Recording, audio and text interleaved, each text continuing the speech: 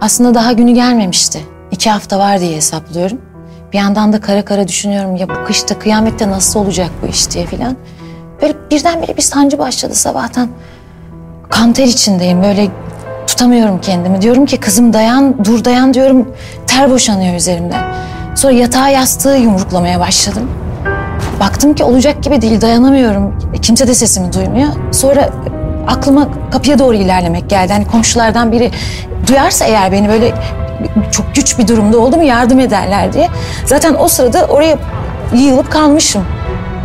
Sonra sancıyla tekrar uyandım. Ve bir baktım ki karanlığın ortasındayım. Her yer kapkaranlık.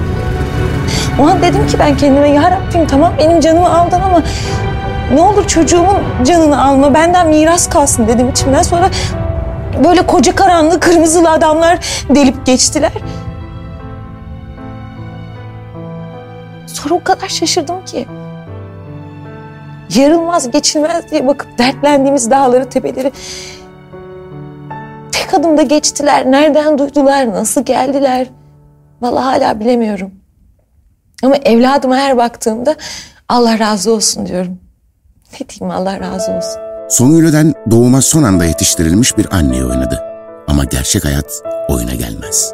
20 yılda binlerce hayat kurtaran Akut bağışlarınızı bekliyor. Bir hayatta sen kurtar.